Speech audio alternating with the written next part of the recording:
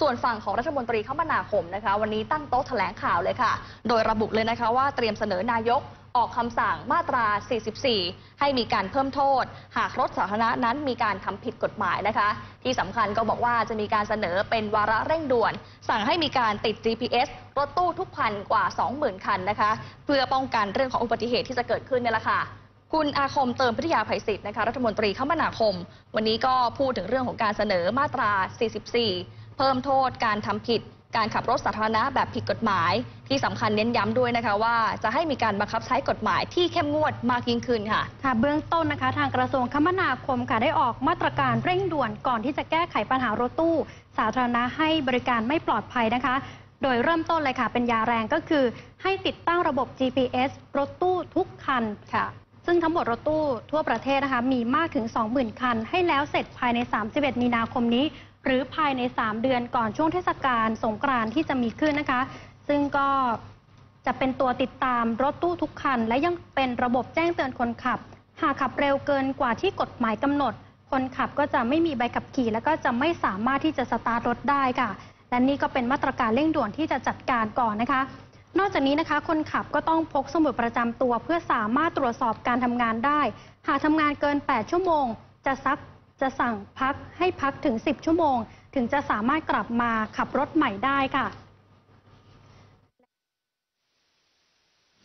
รถตู้โดยสารสาธารณะทุกคันนะครับ ทุกคันนั้นติดตั้ง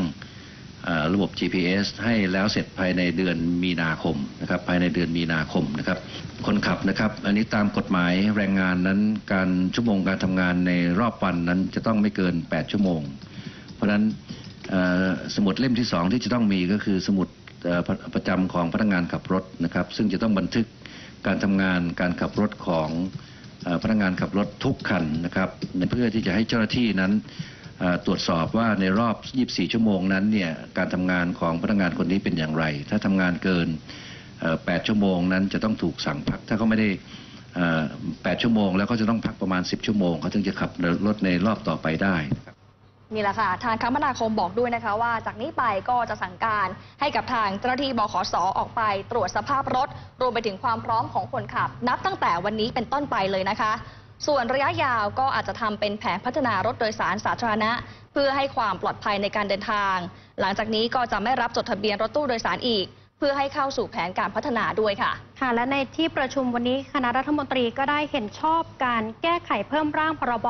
จราจรทางบกค่ะ โดยแก้ไขเพิ่มเติมนะคะ หากพบว่าผู้ขับขี่ไม่ชำระค่าปรับตามใบสั่ง ให้ตำรวจที่ปฏิบัติหน้าที่ควบคุมการจราจร ออกหนังสือแจ้งเตือนให้ผู้ขับขี่ หรือเจ้าของรถที่ไม่ชำระค่าปรับตามใบสั่งมาชำระค่าปรับภายใน 15 วันค่ะ